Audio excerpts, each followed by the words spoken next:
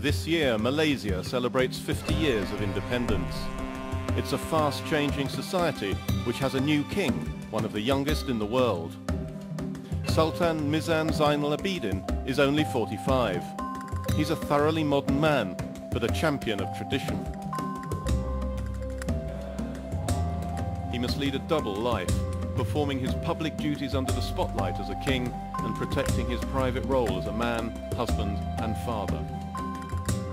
At a crossroads in his own life, about to become king, Sultan Mizan allowed us to be special guests at his coronation. An exclusive opportunity to go behind the scenes of a spectacular ceremony to see a man becoming a king.